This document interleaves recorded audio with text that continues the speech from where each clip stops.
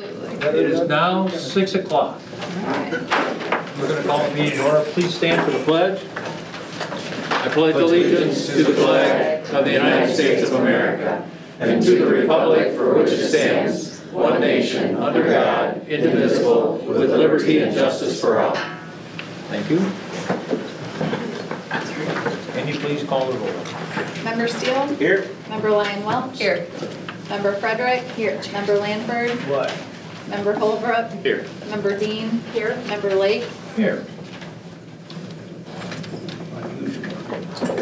Uh, Next, we have the request for public participation forms. Are there any individuals who would like to address the board?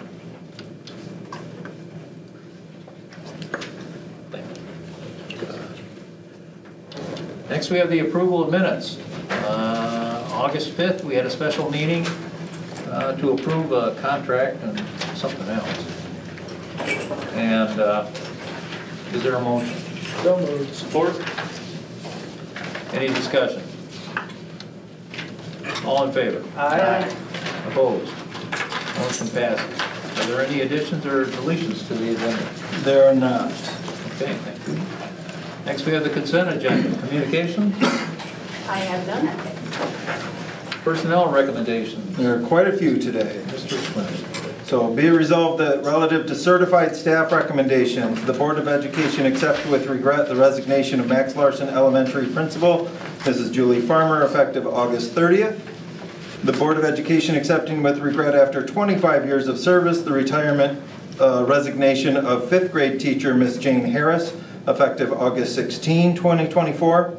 The Board of Education approved the administrative recommendation to employ Sarah Green for the fifth grade teaching position at Lakeland Elementary, effective immediately upon board approval. The Board of Education approved the administrative recommendation to employ Faith Pryor for the English teaching position at Legg Middle School, effective immediately upon board approval and pending background check. The Board of Education approved the administrative recommendation to employ Jani- uh, Janice Grabowski as the teacher for Cardinal Academy, effective immediately upon upon board approval. Relative to support staff recommendations, the Board of Education approved the administrative recommendation to employ Iman Shabain for the Legg Middle School lunchroom supervisor position, effective immediately upon board approval. The Board of Education accepting with regret the resignation of Mary Steffi from the part-time supervision position at Max Larsen Elementary, effective immediately upon board approval. The Board of Education approved the administrative recommendation to employ Lyle Armstrong for the part-time supervisor position at Max Larsen Elementary, effective immediately upon board approval. The Board of Education approved the administrative recommendation to employ Rebecca Lawson for the part-time supervisor position at Jefferson Elementary School, effective immediately upon board approval. The Board of Education approved the administrative recommendation to employ Karen Wilbur for the part-time supervisor position at Jefferson Elementary, effective immediately upon board approval. The Board of Education approved the administrative recommendation to employ Hadel Nasser for the part-time ELL support position at Lakeland Elementary, effective immediately pending background check. The Board of Education approved the administrative recommendation to employ Rachel Hartman for the part-time caregiver position at Kids Club, effective September 1, 2024, pending background check. The Board of Education accept the termination of Sherry King Erickson from her part-time bus monitor position with Coldwater Community Schools, effective immediately upon board approval. Relative to extra duty staff recommendations, the Board of Education accept with regret the resignation of J.C. Horman from the seventh grade girls basketball coaching position, effective immediately upon board approval. The Board of Education accept with regret the resignation of Larry Knaus from the eighth grade girls basketball coaching position, effective immediately upon board approval. The Board of Education approved the administrative recommendations for the following extra duty positions as outlined. Amanda Morick for JV girls tennis coach, and Jeremy Thompson for eighth grade boys basketball coach. Thank you. Next, we have the acceptance and approval of gifts via member Lanford. Recently, the administration was made aware of the following gifts offered by the donors listed below. Recognition and approval for acceptance, acceptance of the gifts are being sought. Coldwater Kiwanis Club Project Fund gave $1,000 to Lakeland Elementary Readers and Leaders. Robert Redmond II gave $1,000 to the teachers and staff of all the buildings for the uh, back-to-school luncheon.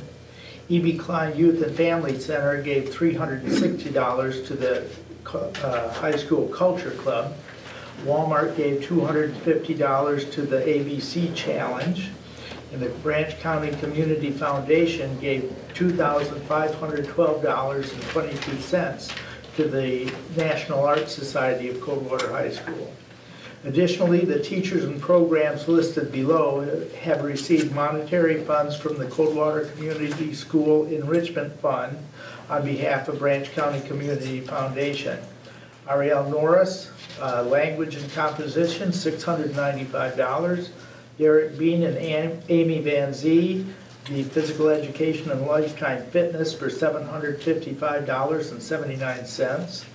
Janet Breza, Breza, Breza, uh, Layson First Grade Music for $908. Keith Johnson for Applied Engineering at the Middle School for $475. Rachel Horde got the STEM program of $2,400. The gracious and continued support of the donors listed above is sincerely appreciated. We ask that the board accept these gifts and acknowledge the donors' generosity.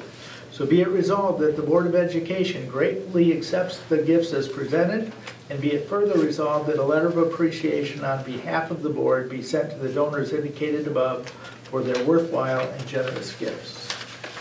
Thank you so much. Mm-hmm. You did such a nice job, you can do the financials. Be resolved that the following accounts for July July be approved for payment as follows. General fund accounts in the amount of two million, five hundred six thousand, ninety-four dollars and twenty-nine cents. And special revenue accounts in the amount of eighty-one thousand, seven hundred ninety-nine dollars and thirty-two cents.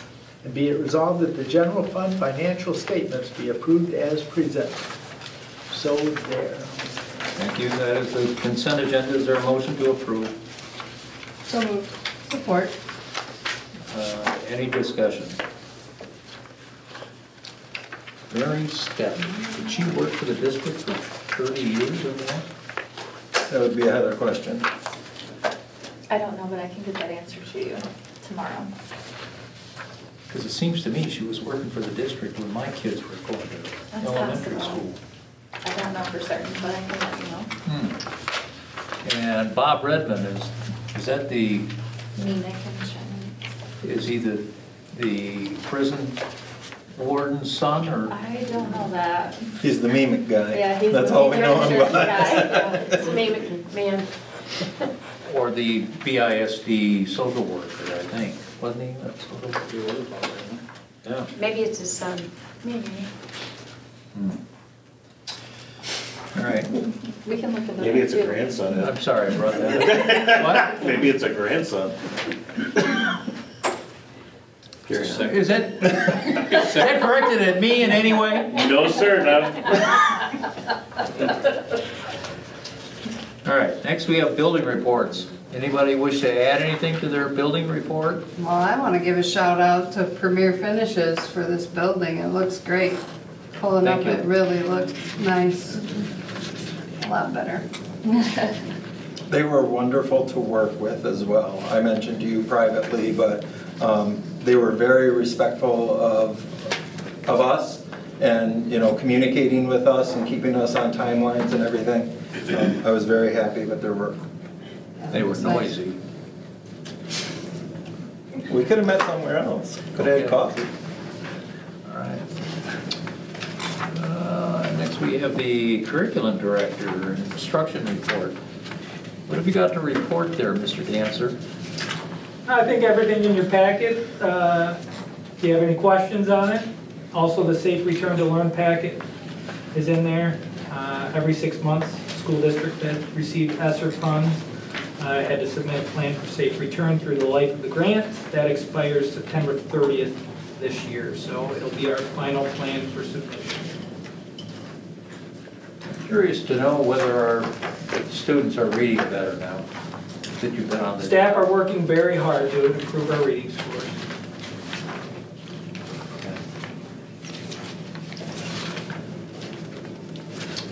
Uh, Board committee reports. Let's see. We had the policy committee. Policy If you wanna talk committee. About that at all? which involves the The Title IX policy? Title IX policy. You know, it looked like it was an old policy that was revised, but I couldn't find that number. It was, they had used, right, this is a new one, but as um, the, the Neola rep used a, a different school's um, template for, Oh. for ours to walk through. Okay. So he just didn't personalize it to us, but it's a brand, it's a new. New. Uh, yeah, it's not revised, it's a new policy. All right, and also crowdfunding. Yes. Uh, So it'll be the uh, first evaluation of the Title IX one, but we're going to pass the crowdfunding. No, other way around, other, other way around. The Title IX one, because of the change in federal law. We have to do it now? We do it now, because the law went into effect August 1. Okay. And then the, the crowdfunding is the first reading, so we'll have to do a second reading and, and adoption next month. Okay. Uh, There were no other committees? Nope. Superintendent's report. Um, Give you a a few more pages in your packet this month. Um, Opening week went very well, I thought. I heard Mrs. Reardon say, one of the best opening weeks ever. Um, un- Our unofficial numbers, and I stress unofficial because withdrawals have not been taken out of Skyward yet, but our unofficial numbers as of Friday show enrollment up over 100 students.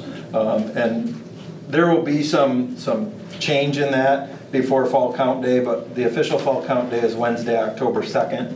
And if you recall, um, 90% of our student fund, our funding per pupil uh, allowance is based on our fall count. And um, that's in addition to the 10% that was in the spring. So they go by calendar year when they talk about those, not school year. Does that mean we should hire four new teachers?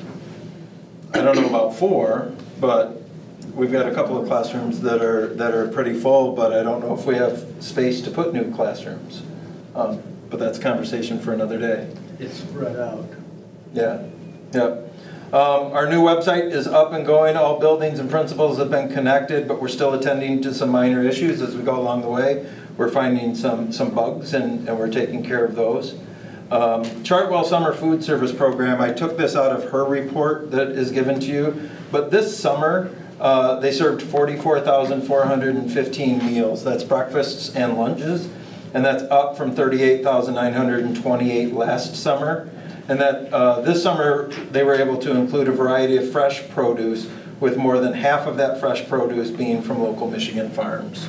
Uh, So that was really exciting. Um, And in your packet, there's actually an uh, article from the Coldwater Daily Reporter uh, about the success that they had this summer. CBPU rebates, we've talked uh, in the past that we're getting um, upwards of of $125,000 back in energy efficiency programs through CBPU. And uh, this past month, we've received two big rebate checks, uh, one for Max Larsen and one for the high school totaling over $36,000. And the press release that goes along with that from CBPU is along with this report. And the Aquatic Center, just an update, we're, we're continuing conversation with the city and others.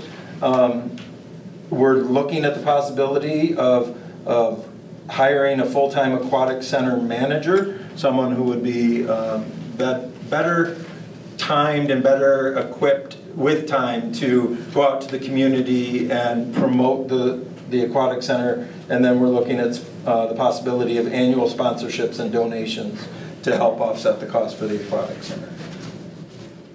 Any questions? Is that going to include inviting the swimming teams to provide life lifeguards? We will absolutely invite them to do that. You? Any discussion items? No? No. Next, we have the action items. uh, Request to certify the MASB 2024 voting delegates and alternates. Uh, Each year, the Board of Education is asked to appoint members to the Michigan Association of School Boards Delegate Assembly. Be resolved that Coldwater Community Schools Board of Education certifies the following individuals to represent our school board at the 2024 MASB Delegate Assembly. I think you automatically, and I would be happy to serve with him as a voting delegate. And then you guys need to start splitting it up here. We need a voting delegate and we need three alternates. Come on, jump in there. I can be an alternate, I have no problem Okay. being an alternate. Mr. Steele, well, you got a busy year. Guess we should leave you alone. I I could be an alternate if you need me to. Let me arm twist a couple of others. Oh, okay, that's fair. Kate, could you possibly be an alternate? I could be an alternate. Would anybody want to be a voting delegate? Oh, Claire. Are you going to go? Are you No. actually going to No, go I'm to the not gonna go. meetings? I am not, Either of you? doubt it. Okay. You'll be one? Yeah, if you're not going to Okay. go, because I'm not going. Okay. So I can one do it more by mail. alternate. So one more alternate. We need four alternates? Nope, just That's three. all. Kate, myself and Claire, right? Well, I have No. Claire as So a if we don't go, you go as alternates. No, I'm joking. And, and Bob is busy this year, so I thought maybe Dr. Lanford would love to step Oh, up since I'm and be, not busy be an this alternate. What do you mean? You just deal with animals. Yeah, You being the worst one. And you have a partner. Whoops. I guess I said that out loud, didn't It's good that you get your licks in now, buddy. So is that a yes? I? Sure. Okay. Is there a motion? So moved. Support. Any discussion? All in favor? Aye. Opposed? Motion passes. Thank you for your volunteer. Busy. Next, we have the request to approve the proposed updates and changes to the Coldwater High School Student Handbook. Coldwater High School principals, Dr. Stephen Hope, the- and the assistant principal, Mr. Brian Shirk, are requesting board approval of the updates and changes to the Coldwater High School Student Handbook for the 2024-2025 school year. The list of the changes and additions is included with this report for board perusal.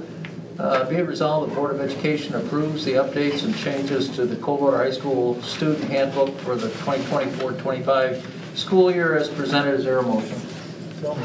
Support. Any discussion? Yeah, did you guys all get my response to? Yep, yep, met with them and we changed that wording. Okay, because I didn't see the change in the, No, we didn't, I, I made the change in the end of the week um, update to the board. Okay. Um, But we'll make sure that the change is in the final, because I understand there's a spelling error or two as well that we have to look at. okay. otherwise it looks great. But thank you. Uh, Who worked on that? Uh, That was mostly Mr. Shirk, so most of the, I, I would say, I will give him all of the credit. Well, next year, I'm I only missed a couple words. next year, I'm wondering if you, you could put a red line maybe through the things that are deleted from the handbook and the, and maybe highlight the things that are added to the handbook. I mean, I had to read 4,500 pages. Oh, wow. I had to read a lot of versions of it, so I get it. Thank you. Yeah, I'll fix it for you. Uh, All in favor? Hi. Aye. Opposed? Motion passes.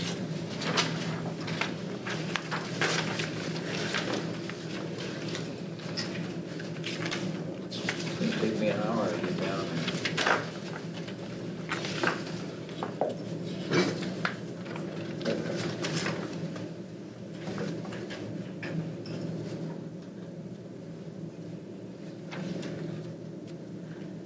Oh, that was correct.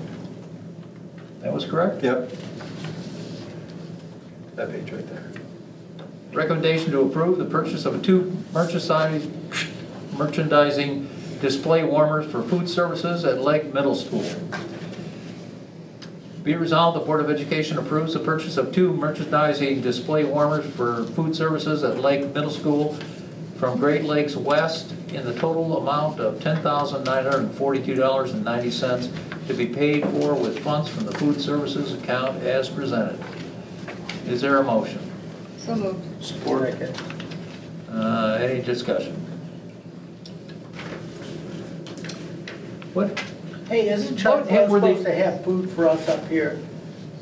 Sometimes. that's, Chartwell's it's not, they're- they don't I care. didn't get it out. There- Chartwell's doesn't care about us anymore. There are some, um, Oh, pickles in the refrigerator, samples. I'll make sure you get them all before, uh, we leave. That's me. So I'm sorry. What did they do before they had these warmers? Do It's- they have warmers, They but they're not warmers, good? but Yeah, they're they're like- old. they're like 15 they're- years old And they're whatever. wider, so they need more space in the lunch lines, and so these go up a little bit taller, they're newer, it'll provide more space. Okay. Is there a motion? So, then, You already was did. made. We- Yeah, we just Well, did roll Roll call. call vote then. Uh, Member Frederick, Yes. Member Lanford, Yep. Member Dean, Yes. Member Holbrook, Yes. Member Lyon Welch. Yes. Member Steele, Yes. Member Lake. Yes, motion passes. Next, we have the recommendation to approve the one-year subscription to Stratasite for additional emergency response services. Stratasite offers another layer of functionality for first responders should an emergency situation arrive in one of the buildings. Be it resolved that the Board of Education approves a one-year subscription effective August 1st, 2024 through July 31st of 2025 with Stratasite for $6,000 as presented. Is there a motion? So, Support. Discussion? yeah, I saw that it was twenty-five hundred for them to do the startup stuff, and then thirty-five hundred, I believe it was, for the yearly subscription. Correct. So in the future, are we gonna have the startup costs No. every year, just No. the thirty-five hundred? Right, the startup, the portal setup fee is a one-time fee, and then um, the annual subscription to the service is $500 per building, covering seven buildings. Okay, cool. And I'm not certain, I didn't understand what services they were actually providing. So this is to um, combine the efforts of all of the digital mapping that we had done in the past and connecting it with the first responders that are providing them an online portal. So, for example, if an incident occurs at the middle school, um, we have a map of the middle school, but what we don't have is where do all the first responders go? And what Stratasite will do was, they will work with us and work with the first responders to determine where do you set up the triage, where do you, where do all the ambulance go and set up? Staging. Where, yeah, where all the staging is around um, for all of the different layers. So all first responders will be able to bring that up in the electronics in their vehicle. And, and so they'll know if they're the first to get there, or among the first to get there, if they're not charging through the door, where they're, where they're to be set up. So it's to save time. Thank you very much. Uh, Roll call vote. Uh, Member Steele, Yes. Member Lyon Welch. Yes. Member Frederick, Yes. Member Lanford, Yes. Member Holbrook, Yes. Member Dean, Yes. Member Lake. Yes, motion passes. Next, we have the first reading and adoption of the new Title IX Policy 2264. Be resolved, the Board of Education recognizes there is a compelling reason to adopt a new Title IX policy that addresses the recent revisions to the Title IX regulations after one reading under bylaw 0131.1 to ensure the board's policy complies with 2024 Title IX regulations effective August 1st, 2024. Be resolved, the Board of Education adopts policy 2264 in the interest of complying with the 2024 Title IX regulations as presented. Is there a motion? So moved. Support. Any discussion? Roll call vote. Member Lanford, Yes. Member Dean, Yes. Member Steele, Yes. Member Frederick, Yes. Member Holbrook, Yes. Member Lyon Welch. Yes. Member Lake, Yes. Motion passes.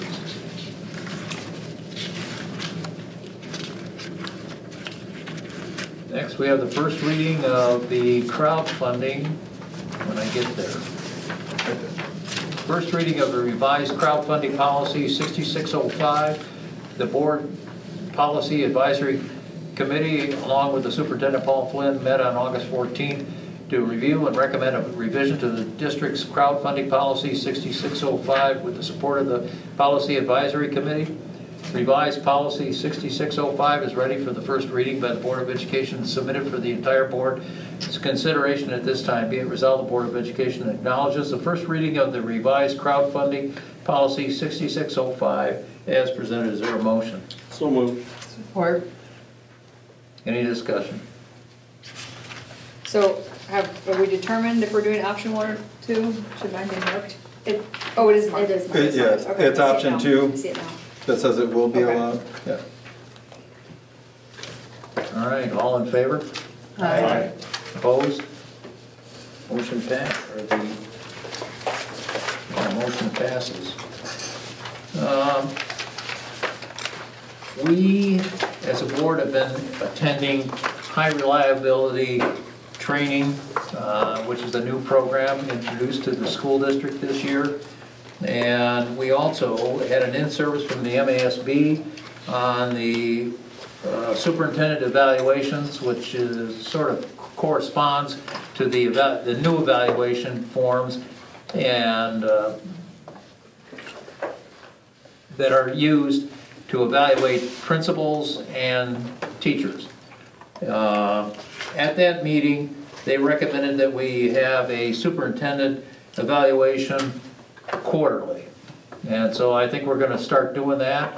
Our first one will come with the next meeting, it'll be a closed session, uh, just a brief, might be five seconds, but it, every quarter, we're gonna have a closed session for this uh, superintendent evaluation. Uh, Other than that, I don't think there's anything else coming, anything else? Nope. We're adjourned. Well, the next meeting, Yes. sorry. Next meeting is, oh, it's here, September 23rd. Now we're adjourned.